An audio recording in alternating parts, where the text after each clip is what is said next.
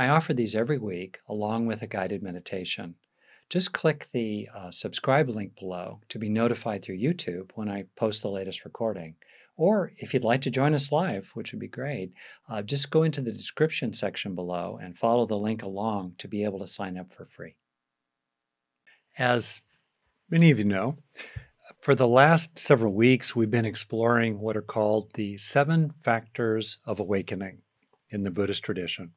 And in the uh, list of them that is typically in this sequence, they are uh, mindfulness, investigation, energy, or what I would call making efforts, sustained effort, uh, bliss or rapture, tranquility,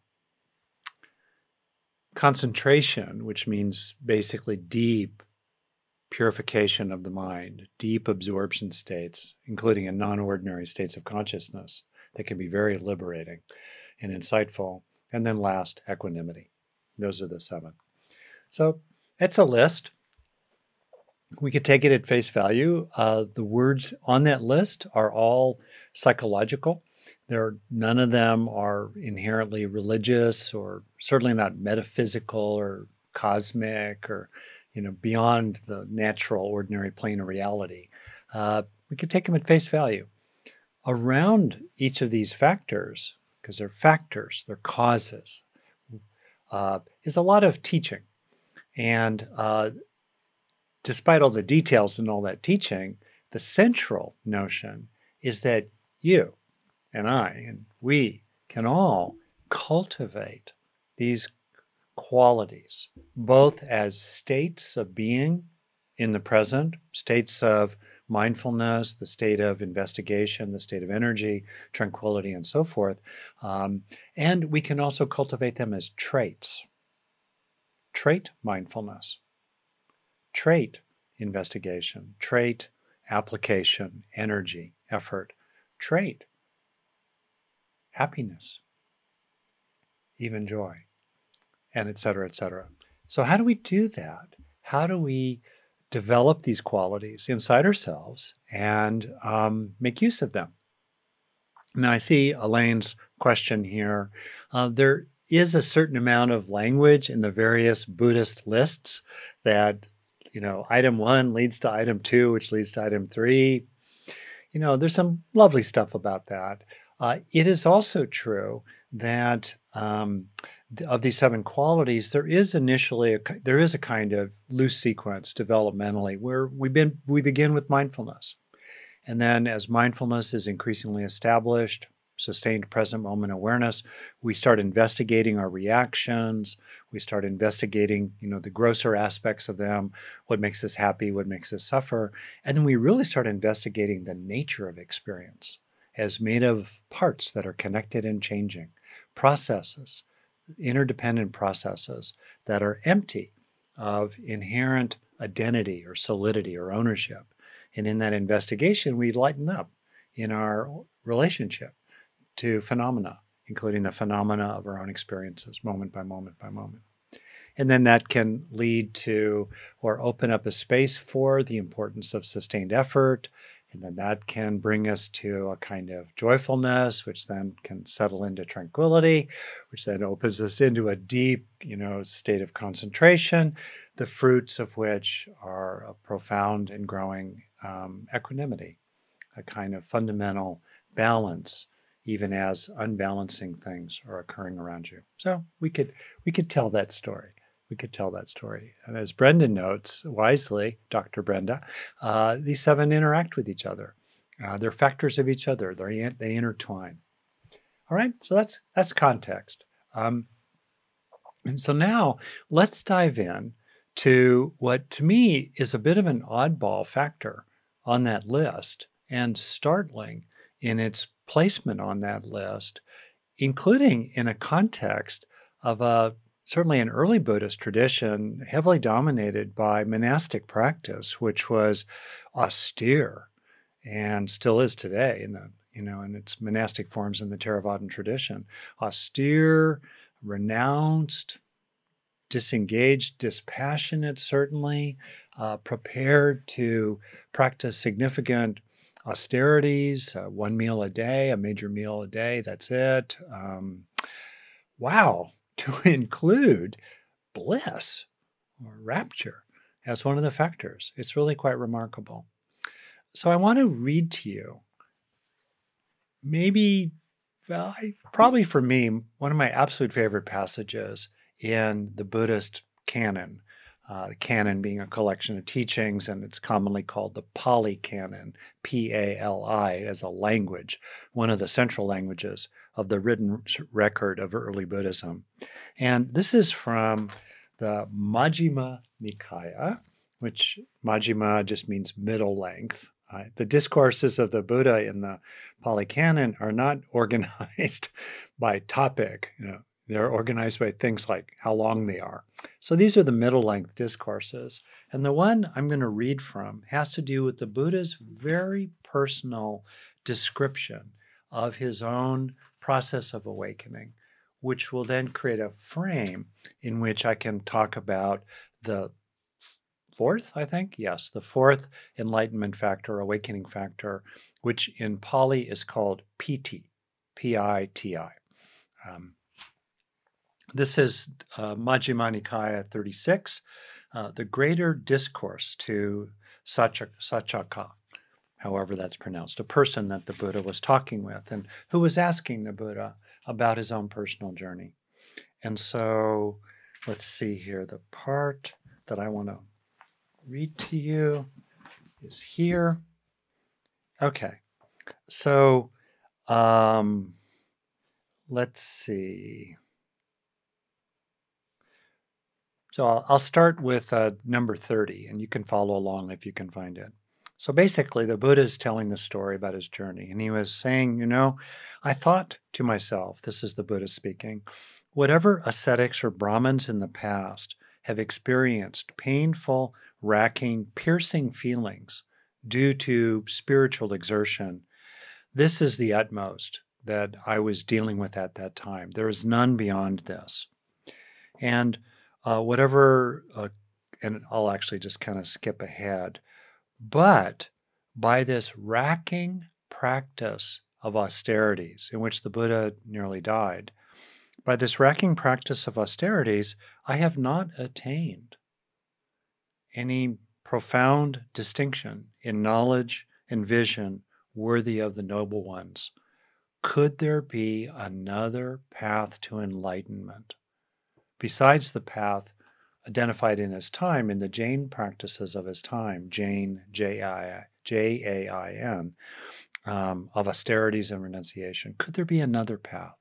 This is the turning point. This is the moment, this is the development of the middle way. The Buddha continues I considered, I recall that when my father, the Sakyan, as a ethnicity or group, tribe, when my father the Sakyan was occupied, while I was sitting, probably as a boy, in the cool shade of a rose apple tree, secluded from sensual pleasures, secluded from unwholesome states, I entered and dwelled in the first jhana, which I'll get to in a moment. The four jhanas uh, comprise the uh, uh, path of uh, the aspect of right concentration, wise concentration in the Eightfold Path, the jhanas well known, non ordinary, but still well known, deep states of consciousness.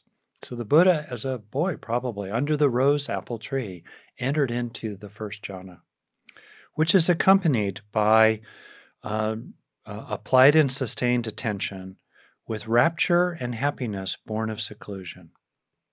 Could this be the path to enlightenment? I asked myself.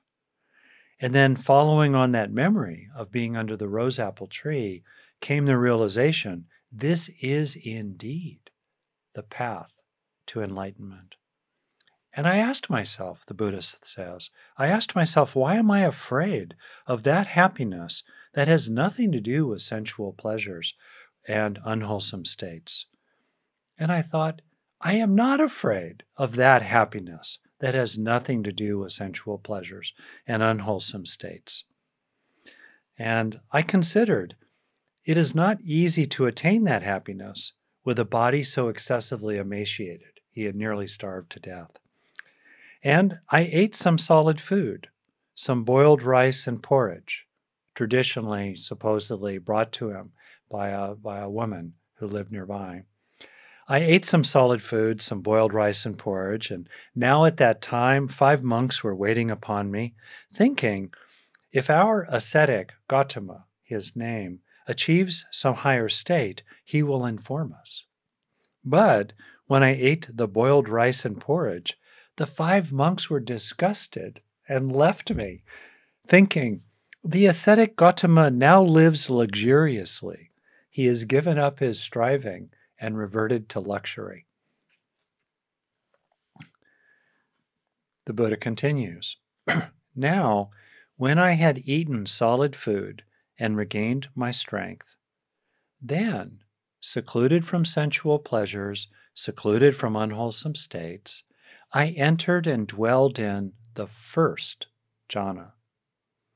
And there's a very specific description here, which is accompanied by applied and sustained attention with rapture and happiness. Rapture is piti, with rapture and happiness born of seclusion. And then with the subsiding of applied and sustained attention, I entered and dwelt in the second jhana, which has internal confidence and unification of mind, is without applied and sustained attention. It's without deliberate attention and has rapture and happiness born of concentration. And then he continues with the fading away as well of rapture. piti fades away. In the third jhana, I dwelled equanimous and mindful and clearly comprehending. I experienced happiness with the body. I dwelled in the third jhana, of which the noble ones declare the person in the third jhana is equanimous and mindful, and one who dwells happily. So we have the fading away of rapture in the third jhana, but the presence of happiness, the word translated as happiness, which I'll get to. And then in the fourth jhana, with the abandoning of pleasure and pain, and with the previous passing away of joy and displeasure, I entered and dwelled in the fourth jhana, which is neither painful nor pleasant and includes the purification of mindfulness by equanimity. And then he continues uh, to say that he then had his own process of awakening that involved uh, reviewing his his own personal rebirths, reviewing the rebirths of many, and then realizing uh, the Four Noble Truths. A lot of drama here, a lot of a lot of key points, and uh, you can go back and, and read a good translation. I'm drawing on and slightly paraphrasing as I read In the Buddha's Words from Bhikkhu Bodhi, extraordinary, wonderful uh, translator of the, of the Dharma. Uh, there are different English translations of some of those key terms, um, but the point I would like to highlight with you is first of all, the teaching of the Buddha to welcome certain kinds of emotionally positive experiences, to appreciate them as factors uh, of awakening and all right in and of themselves. And there is a tendency sometimes I've found in spiritual practice and certainly in the in you know the Buddhist tradition to kind of be afraid of or shy away from uh, emotionally positive experiences, particularly intense ones. As a detail, here's a here's a warning. If a person is vulnerable to manic episodes, this is important, and bipolar disorder, true manic episodes. Uh, sometimes a trigger for someone who's vulnerable in this way of a genuine manic episode is an intensely positive experience. So if you imagine the range of experiences from minus 10 to plus 10, kind of zeros the neutral point in the middle. Um, you know, things that are in the sevens, eights, nines, and even tens, that might trigger a manic episode for someone who's vulnerable there but lo- you know, but less intense. The fives, the sixes, certainly the twos and threes and fours, definitely the ones are really okay. So, other than that uh, warning here, uh, you know, the Buddha is encouraging us to um, to find happiness. The second point is to pursue the distinction, which I'm now going to do in my exploration of the um, fourth enlightenment factor of piti, translated as bliss or rapture or joy. And there's a distinction between piti in Pali and sukha, S U K K H A. Um, sukha is translated in various ways as happiness or contentment. Um, and uh, I want to share with you some of the distinctions there that are called out, and then talk with you about the cultivation, frankly, of both of these qualities. I'm going to uh, freelance a bit uh, with, uh, uh, you know, the uh, I think the awakening factor of happiness that's adjacent to the awakening factor of bliss, rapture, and joy, which is happiness, in, or including kind of a quiet contentment. So. Um, piti, rapture, is stimulating, it's exciting and energizing. And traditionally, in the Visuddhimagga, which was written about a thousand years after the Buddha passed away, so around the fifth century in the Common Era, the Visuddhimagga, uh, there are five kinds of, uh, or levels almost, of bliss that are described. Uh, weak bliss, you just kind of maybe the hair stands up on your neck or you get the shivers. Uh, I uh, uh, short bliss, um, you know, from time to time. Uh, what they called going down bliss, which kind of explodes in the body like waves. You can see a growing intensity here. Exalting bliss makes the body jump to the sky, you know, really intense. And then you know, fulfilling bliss. Uh, it's like a huge flood of a mountain stream. Now, you may have experienced this. I have. And I find that some people are very prone to bliss, uh, and other people, it's not so accessible to them. Fear not. And I find also that, uh, for me at least, I began to encounter uh, piti um, while on meditation retreat. And it took me several days at least into the retreat by initially really focusing on absorption in the breath and a very fierce application of, of attention, just applied and sustained, you know, breath after breath, minute after minute, throughout a whole meditation, throughout a whole day. And then, kind of as that intensity was increasingly, uh, you know, stabilized, then bliss began to arise. And it was intense. It, it is intense. Uh, it can come in brief waves. There can be a pulse of it, or, you know, and again, people may share about experiences here, perhaps on retreat. You can feel, and, and I did, you know, on occasion, so awash in bliss that it started to become almost overwhelming and even like almost hard to stand up out of my chair when the meditation period ended and it was time to uh, do walking meditation or something else. So uh, the bliss can be really, really intense. Adjacent to it, though, is sukha. And the root of the word for sucrose or sugar in um, you know Sanskrit is similar, sukha, and uh, there's a sweetness in it.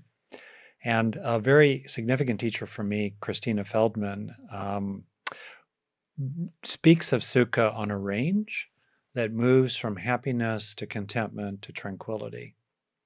And when a person starts to know what bliss is like, rapture is like, which for me at least has this arising, arousing quality and becomes more adept with it, um, a person can literally, particularly if they're fairly intermediate or advanced in their own contemplative practice, you can explore a process in which you really concentrate, you really focus on something like your breath in a muscular way for 10, 5, 10, 15, 20 minutes in a row.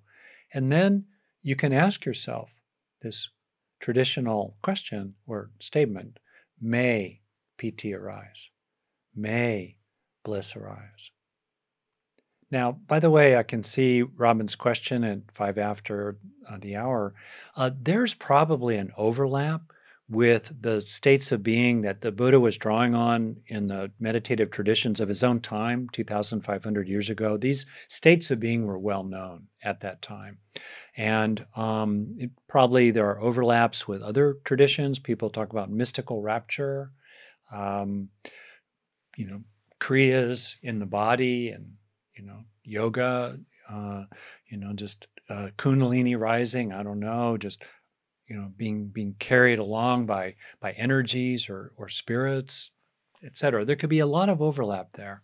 Uh, I'm still looking for a good explanation uh, neurobiologically about what in the world is going on, uh, and I have not found yet a compelling explanation. There are various theories and they're out there, but I don't know. I do know I do know that many people from the Buddha and his teachers and, and their teachers before them, all the way up to the present time, I do know that many people have experienced piti.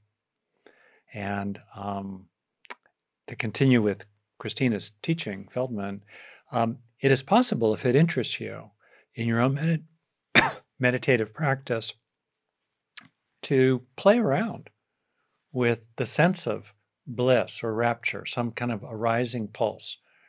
And then, if you want, let it quiet some and find out what's adjacent to it in terms of happiness, a kind of happiness.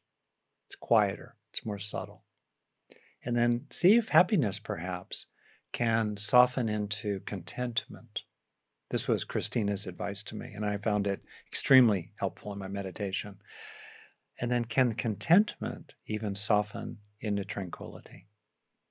And she said, you know, it's actually it's skillful means to be aware of the distinctions, the, this difference, not abstractly or theoretically, but in your body, in your experience. Like, what is bliss like?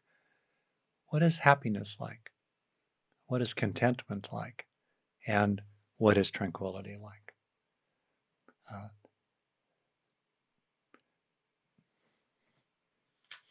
So, to make a broader point, um, and to talk about, uh, you know, happiness uh, adjacent to bliss or rapture, uh, why in the world would these uh, intensely emotionally positive experiences be recommended? Why uh, is bliss? I'll use the word bliss. So I think the closest English translation to what I've experienced. Um, why would bliss be a factor of awakening? Or in the uh, five factors of the jhanas, these non ordinary states in right concentration, why would, of the five, um, both bliss and happiness be factors of deep meditative absorption? The other three factors of deep meditation absorption, the jhana factors, are applying attention, sustaining attention, uh, bliss, happiness, and what's called unification of mind, singleness of mind, unification of consciousness, which is a sense of the whole gestalt of your consciousness being present as a single whole. And as those five factors really, really developed, we start to enter into what's called access concentration. We're starting to tip into a very non ordinary state of awareness and then whoosh, all the way into the, the first jhana. Different teachers teach about the jhanas uh, in different ways. Um, you know, I think of them as authorities on this, and there are different views and there are sort of arguments about it. And Christina uh, Feldman, for me, had a wonderful response to my question about this. Uh, she said, Well, maybe first of all, there are different levels of jhana. And maybe there can be moments of jhana, flashes of jhana that become increasingly stabilized. And you know, don't don't get too attached to it all. Don't get attached to these systems. Uh, beware ideology and dogmatism here as in other things, and see what's helpful for you. Which goes to the question: Why would intensely emotionally positive experiences be helpful in liberating ourselves from the habits of craving and the suffering that follows? I think there's several answers to that question. The first is that uh, as we experience stable, emotionally positive experiences, attention stabilizes as well, and we can develop greater and greater steadiness of mind. Technically, steadiness of mind basically translates to a kind of stability of what's in the field of awareness. Now, what could be in the field of awareness in choiceless awareness or open awareness just simply could be the streaming of your consciousness. But there's a stability of presence there. What enables stability of presence rather than distractibility or being swept away? Technically, in the upper outer frontal regions of your own brain, that's more or less the neural substrates of working memory. Working memory being a kind of reverberative ongoingness of the sense of, of being present. What's there? What are you aware of? What, what are you with? Well, those physical substrates up here have a kind of gate to them that is regulated by dopamine, a neurochemical that tracks reward. As reward, the sense of reward or the expectation of reward drops, whoop, dopamine levels drop. In those neural substrates, when dopamine levels drop, the gates open and a person can be distracted and new things can come flooding in. It's a very efficient mechanism if you're a monkey in a tree and you're finished with your banana, reward drops, notice other bananas. On the other hand, when dopamine levels are steady, um, that keeps the gates closed.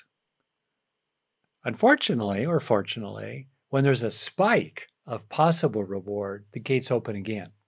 Like if a really appealing fellow monkey swings onto your tree, like what bananas? Who cares? Wow, right? Well, if we are experiencing really luscious, really high levels of emotionally fulfilling experience, dopamine levels are both steady and high. They're at their ceiling so you can't get a spike, which keeps the gates closed to the neural substrates of working memory, thus promoting steadiness of mind. So I think that's one way in which um, piti and Sukha are really beneficial.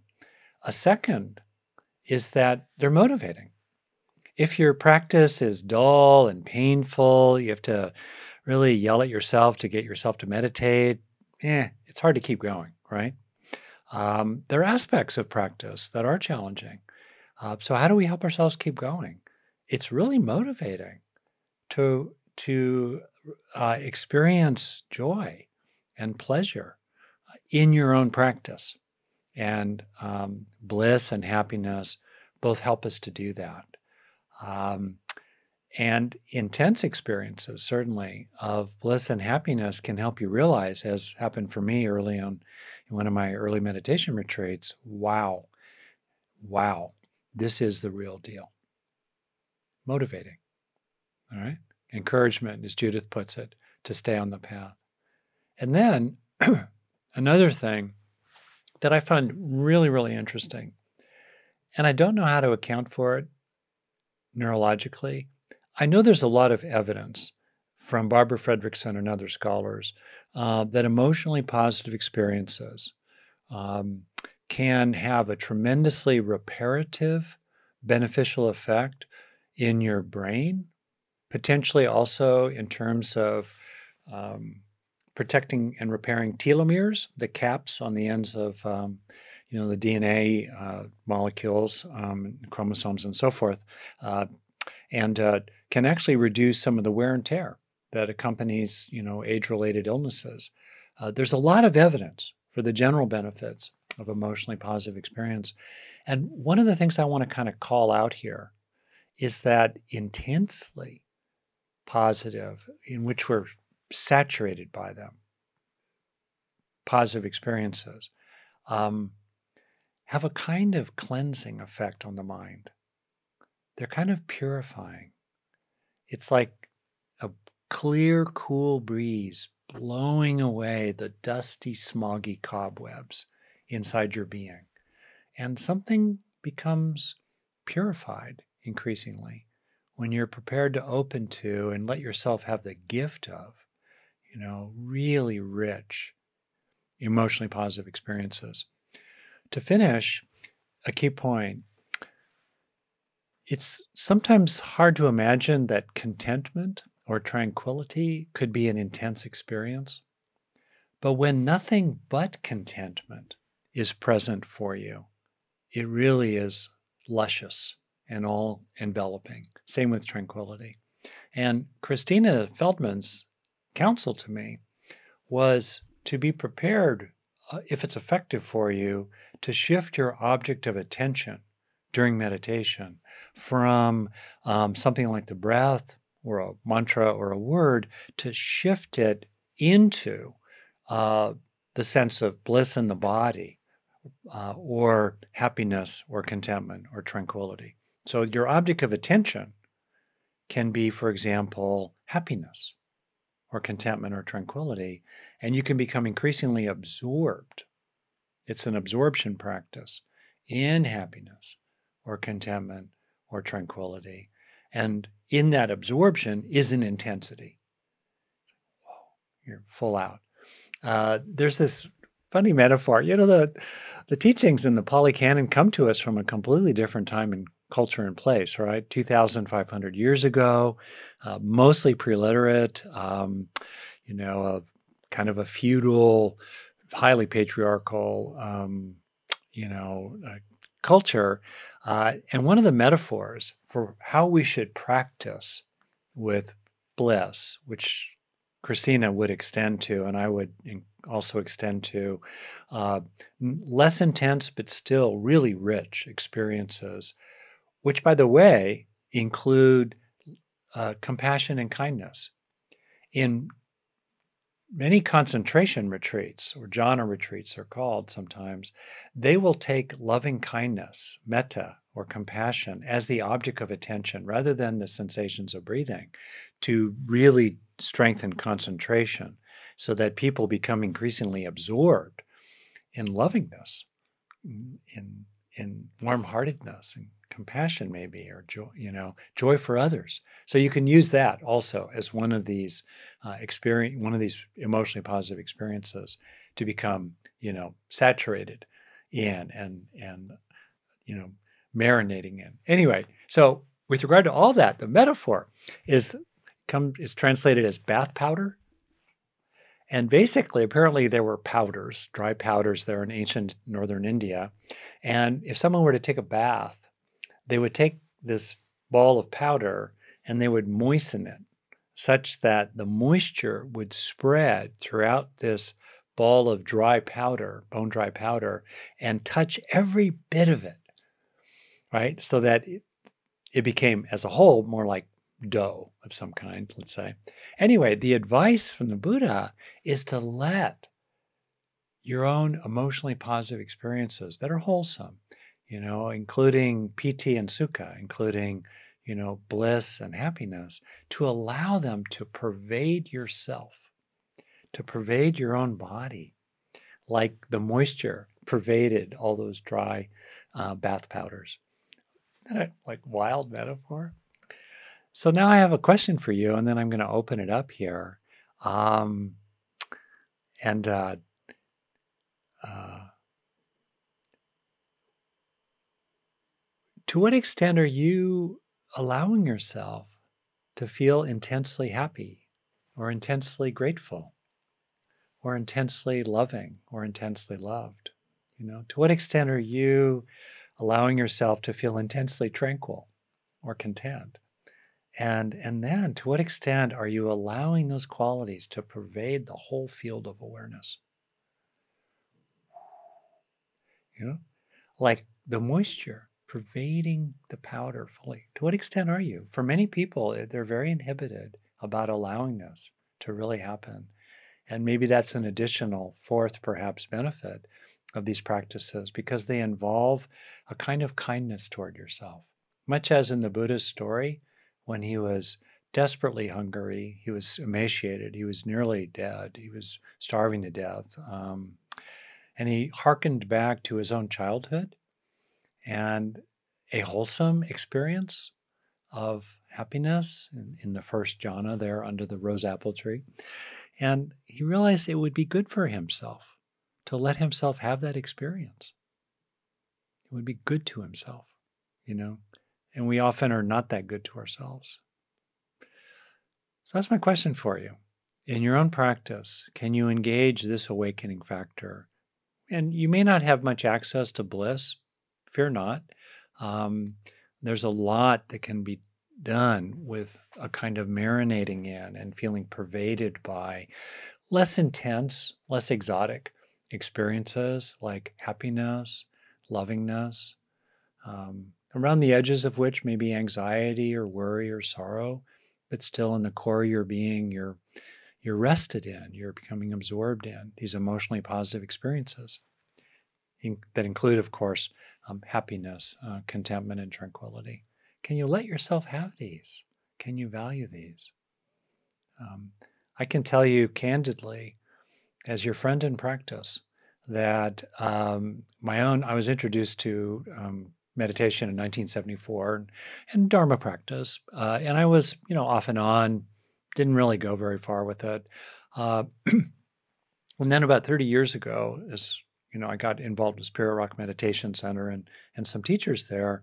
Uh, my own practice really moved from that kind of superficial, you know, eh, casual uh, kind of place about it. Um, when first I started focusing on steadiness of mind, concentration, and absorbing and, and absorption, and really training training the mind into, you know, concentration practices, valuing them which were left out in my own uh, uh, in the teachings I received until that point in Western Buddhism, kind of devalued the right concentration, the jhanas aspect of the Eightfold Path, as well as other preliminary forms of steadying your mind. That was boom, for me at least, maybe for you, boom, uptick around focusing on steadiness of mind, including deep states of absorption. Second, next boom was really appreciating the value of bliss and happiness, really appreciating the value of intensely positive states of mind that pervaded the mind, not out of craving, but increasingly actually out of internalizing them so that, uh, as I can do now with practice, and experienced meditators can often do this, I can kind of drop in to that very pervading, beautiful state place, um, we can all develop that. So that's the second big step. And I'll tell you the third one, which is as a bonus, and just to offer it to you for your own consideration a movement into generosity, a kind of releasing of selfing and um, moving out into the, the a, a, a generosity, a fundamental generosity of orientation. Those three have been really central for me in my own journey over the last 25 years at least. Uh, anyway, okay, crazy stuff. So I'm seeing hands up. Goodness, goodness. Um, and uh, let's see. So uh, I'm going to start, and I'm going to ask you to be kind of, you know, succinct. Okay, great. So Lynn, I'm going to start with you. Uh, great, thank you, and good to see you here. And I'm glad we have a chance to talk. And uh, uh, so I'm asking you to unmute. You have to unmute yourself. There we go. Great. Can you hear me? Yes, excellent. Okay. Hi, Rick. Hey. Um, I have this question, and that is if you know a particular activity brings you bliss aside from drugs or booze, yeah. is that an artificial thing? And I'll tell you what it is for me. It this brings me fully to myself. And I, I the word I would use is awe, but it, it's a form of bliss. I'm a singer. Ah, great. Yeah. So when I get a chance to add the third part by ear and sing three part harmony, my life comes together. I, I don't know how to explain that. There's just, it's vibrational, obviously. Yeah. So, my question is Are there artificial things yeah. that you know sort of take you to that place of piti. Right. Uh, they're if they work, they're not artificial. They they genuinely work, right? And absolutely true. I do think there's um, a gentle encouragement from our teacher, the Buddha, to use vehicles like rafts as they are helpful to you, and over time become increasingly independent of them. Not because there's anything bad about it but without a particular practice, such as singing, say, can a person in the quiet of their own, um, sitting on the couch, you know, for 20 minutes in the morning, can there we open into what feel like really heartfelt and important, you know, sweet feelings? So nothing wrong. Fantastic. Uh, for some people, it's being in nature. It's singing to their grandchildren, you know, it's petting their cat. Great, great. And can we turn those states increasingly into a fundamental uh, sense of joyfulness deep, deep down inside ourselves that's with us wherever we go? So I would just leave you with that. I could see a lot of hands. I have not seen so many, so many hands for a topic, and I'm going to keep going. And I want to make a key point here about something I saw that was a comment as well from someone. How do we drop into bliss with so much suffering in the world? Huge question. Uh, obviously, there was tremendous suffering in the time of the Buddha, and um, basically, we can be both. We can have an open heart while also finding you know, practices as we choose that seem wholesome and helpful to us. Our bliss does not increase their suffering. And um, denying uh, the, the available fruits of practice to ourselves um, does not make them suffer any less, you know? And okay, so I'll just go on. I'm going to keep moving. Kate, thank you. I'm kind of doing it in order in the ways in which the hands popped up. Uh, Great. Kate. Thank you. Uh, what do you do when you're meditating and you're opening yourself up to this state and you're working toward relaxation and to connect into bliss, but then your fear comes right in and anxiety comes right in? Yeah, it's very interesting, and um, it's it's a first of all, it's common, and then the question would be, huh? What what are you afraid of at that point? And maybe briefly, just you and me right now, if you're prepared to say, do you have a, any mindful sense of what is the fear about? What are you afraid of at that point? If I'm starting to relax, I'm afraid of having to face emotional pain. Okay. Yeah. Well, thank you for saying that, and um, that's one. Another one, I'll just name a couple others that I that I have heard of from people. Uh, being caught looking happy, you know, based on our childhood experiences or other situations. Uh, there can be also a kind of survivor guilt. It's sort of related to what other people brought up that are, you know, how dare I feel happy when so much sorrow is going on in the world, and you know, these are these are things. And then also sometimes there's a fear of like ego dissolution you know, the kind of contracted, watchful, guarded, wary, top down, tight, controlling, you know, executive process, it starts to relax even around joy and bliss. And it could feel like, ah, I'm losing control. Ah, you know, all these things could really happen. So then, as a general approach, I'm saying this to really just about everybody because these are really common, is to be aware of it and then ask yourself essentially, right now, is it actually true? So, like right now, if I allow myself just sitting here in my sofa in my home to open into a, a deeper happiness or a calm, can I be aware of what's happening around me? You know, and also, can I do that without anything bad happening? The ceiling is not falling in. No one is jumping in through the window, right? The a fire is not breaking out in my kitchen. Oh, or you know, more broadly, can I uh, take in these experiences which actually make me stronger? while also keeping my eyes wide open and being determined about what's happening around me. Can I do both?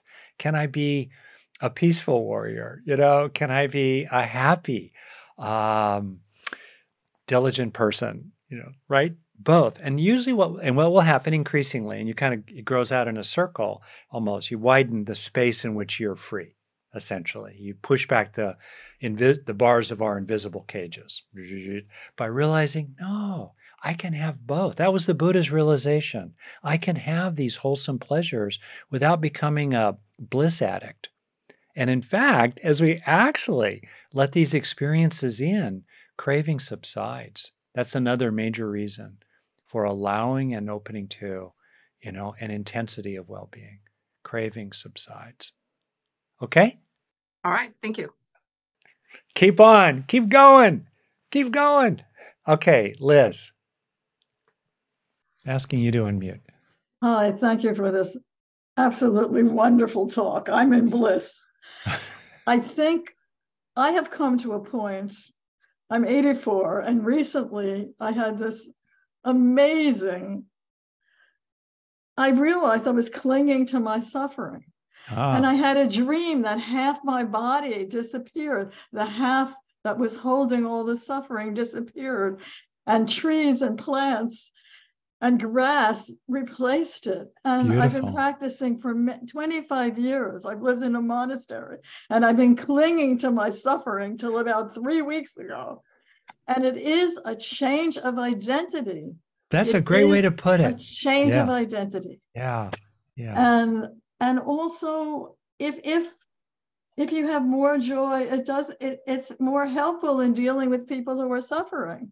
You have more energy to be with them yeah. More space to love them. Yeah. and thank you for this marvelous oh, beautiful. thank you. And and also uh, there's not much time but i just want to say that my toes keeps keeps t- wanting to find my suffering want keeps wanting to find my trauma which is a process that i'm working with that i have to work on. And then being in this bliss and this in this great happiness and contentment is healing of trauma, I believe. I think that's really exactly right. Well, I'm so glad you named that. That was really great for a lot and a lot of people, Liz, that this part of the healing of trauma, we, we feel damaged in our capacities, right? Including to feel joy and to realize that we have retained the capacity for joy. You know, uh, we are whole. We were not destroyed. And, and, letting go of that identity is a big deal. Yeah. So thank it's you. a big deal and a wonderful thing. Thank All you right, so much. Great. Where so, can we find Christina Feldman's stuff?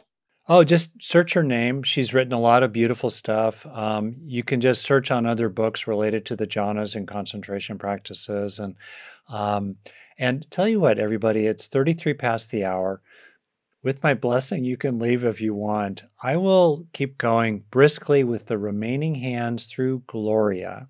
Um, and uh, so there you go, Gloria. You made it. you got the end of the queue. And then I'll wrap up uh, and I'll move along fairly quickly too, if that's okay.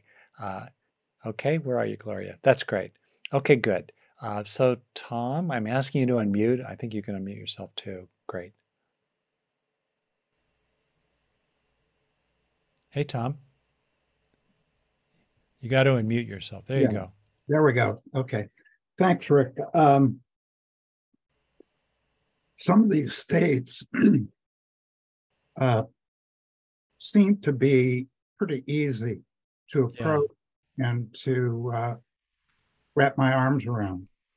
For example, loving kindness or mm-hmm. generosity, um, these involve in my in steadiness of mind. These involve specific behaviors that I can identify and right do. Or or they move into action. Yes, they move yeah. into action. Generosity is obvious. Yeah.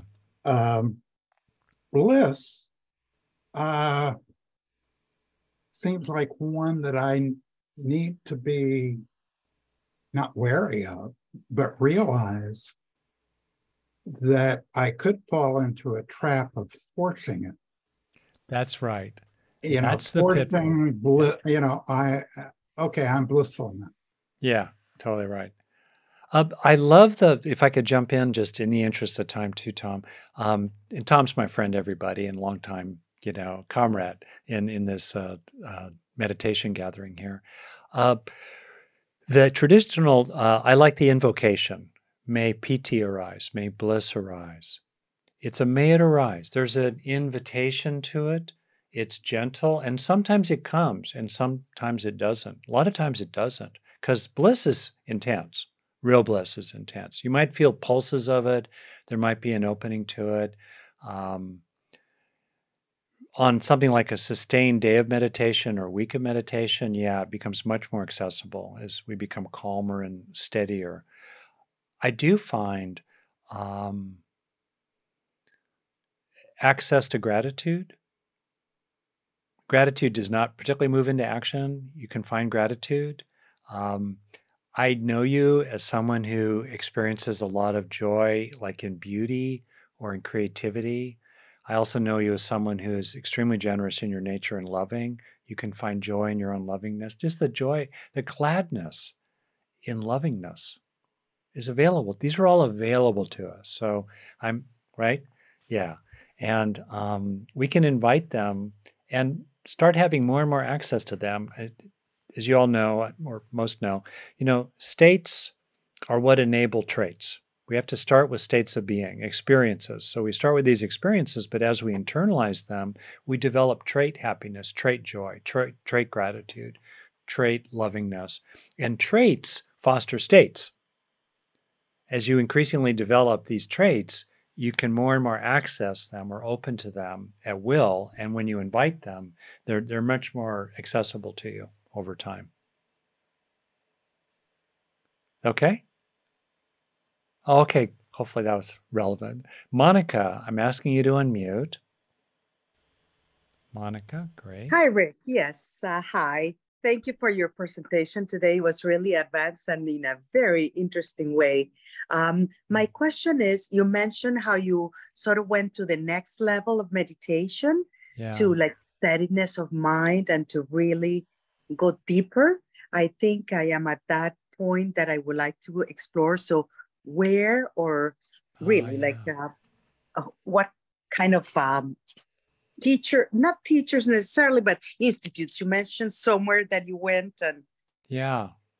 Oh, very good. So um, I think I'll actually give a whole talk on that topic because there many of many of you all have a significant practice and you're kind of looking to like the next place or opening or you know forgive the word level but yeah deeper um uh well i'll say a couple things. One i do think there's a place for a bit of study and finding a book um, like uh, you know a, a book on mindfulness or a kind of classic book what the buddha taught. Uh, you know there are probably some other basic books just you know to make sure you, you kind of understand the basics uh, i wish i had a better recommendation in the moment um, if you're looking for something hardcore but incredibly uh, clear and accessible yeah okay great the book Satipatthana by the monk Analayo, A N A L A Y O. I personally think uh, if you're going to take one Buddhist book to a desert island, uh, that would be the one I'd recommend to you. Uh, and what it- is the title of his book? Uh, Yeah. For an audience? Sati Patana. The Satipatthana essentially is uh, mindfulness and or the foundations or establishments of mindfulness. So S A T I P P A T T. I'm tired, so I'm losing my spelling. H I N A. Yeah. So Elaine put it in. Thank you, Elaine. Uh, Satipatthana. That book, fantastic book. Second, um, I would, gosh, I think Tara Brach's book, uh, Trusting the Gold, is a complete gem.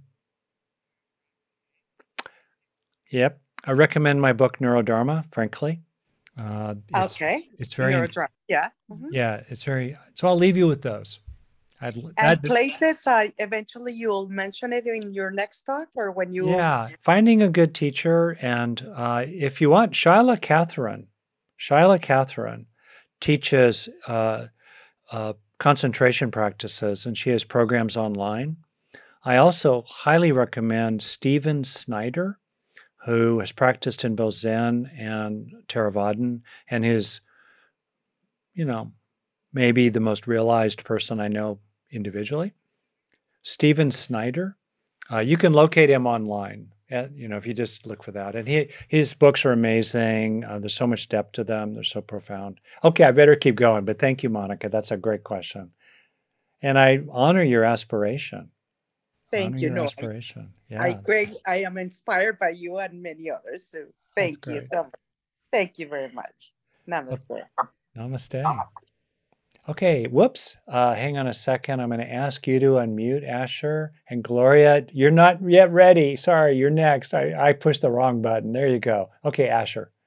Hey Rick, big fan. Uh, actually, recently just found out about this, so this is uh, it's pretty cool. Ah, Um, I'm going hardcore tonight. Nothing held back. Yeah. So, for better Um, or worse.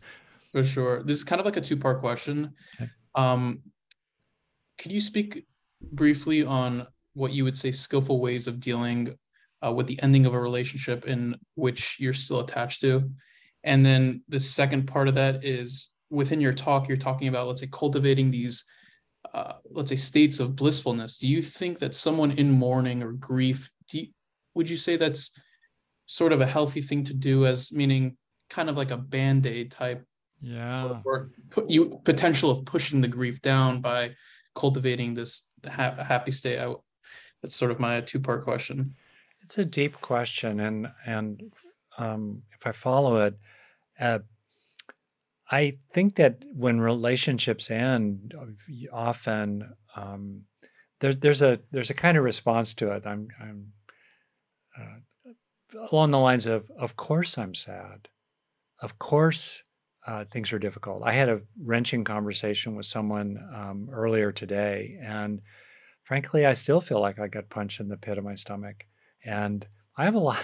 I have a lot of practice, and man, I, I'm still upset about it, and that's okay. That's what the Buddha called the first darts. You know, it just we're we're social mammals. We're big monkeys. Of course, we're freaked out. Of course, we're sad. Of course, we're angry. Of course, we feel guilty. Of course, we second guess ourselves. Of course, we wish other people were you know better people or whatever.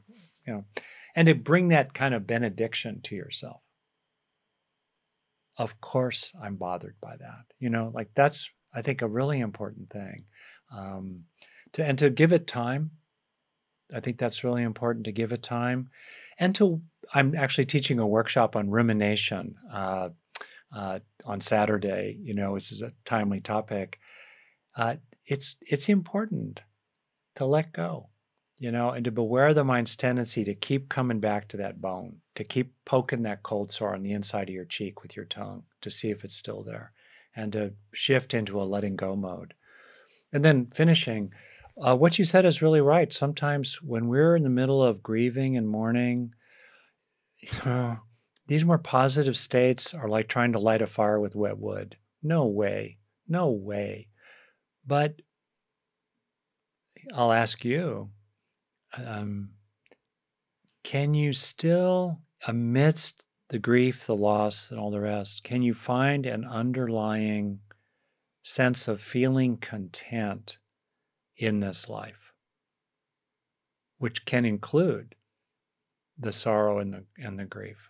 Maybe not, but that's interesting, right? Maybe right now you can't find, you know, a saturating bliss or even happiness but underneath it all can you find or can you find a fundamental underlying acceptance of life as it is and gratitude you know no matter what? And can you increasingly kind of rest in that gratitude or peacefulness? That's a real question. And then even you know most deeply and uh, can you locate a kind of core in yourself or a, a, ground or level in yourself that's just inherently content, inherently at peace. uh, which includes obviously speaking truth to power, standing up for others, you know, pursuing important goals. That, that that's kind of higher up, right? In on a ground of an underlying intrinsic wakefulness, peacefulness, and open-heartedness.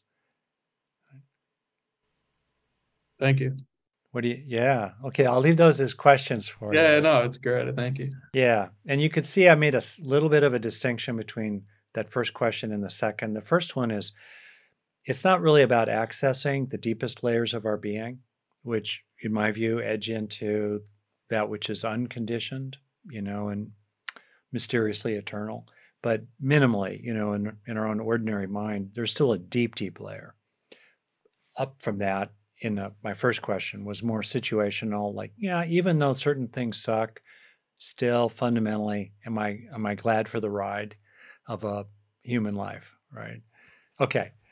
All right. Last and thank you, not least, Gloria here asking you to unmute, finishing up. Great. Gloria. Yeah. Okay. Finally. Yes. Yes, you're on. Great. Yes. Yes. Thank you again. Thank you even for Saturday. Oh, you're but, welcome. Yeah, yeah. Yeah. It was a lot, but but anyhow, it was nice to see your energy there. Yeah. yeah. So I am trying to do a resume. When we are talking about the seven facts, that is mindfulness, investigation, energy, bliss, and tranquility, but they are all interactive, interactive. And there are seven facts of meditation, of, of what?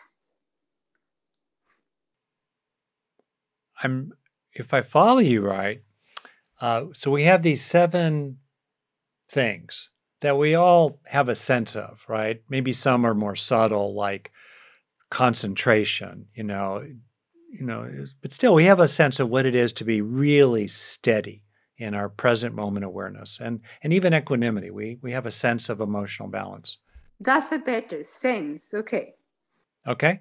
So if I understand you, we have and I'll finish with this kind of succinctly. We have uh, mindfulness, uh, investigation, energy or effort, uh, bliss, and I'm including its close friend, uh, happiness. Yeah, yeah, piti and sukha here, as well as tranquility. Got five.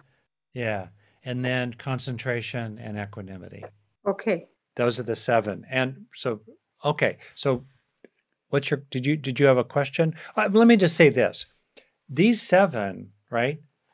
They're useful in everyday life, and you can look at them almost like a checklist, and you could think to yourself, you know, for this year, 2023, or maybe this month, or maybe this day, I'm going to focus on one of the seven. You could even rotate. You could even assign. This is good one, you know, mindfulness Monday, mindful Monday, investigatory Tuesday. You know, you could work your way through to equanimity Sunday and then start over again. You can practice that just in everyday life. Also, in the Buddhist tradition, certainly, and I think you find other versions of this in other traditions, these are factors of the highest reaches of human potential. And as they get perfected, we move up the mountain of awakening and become increasingly stabilized um, in awakened consciousness. So both are true, both in everyday life and in our own meditative and personal path of awakening.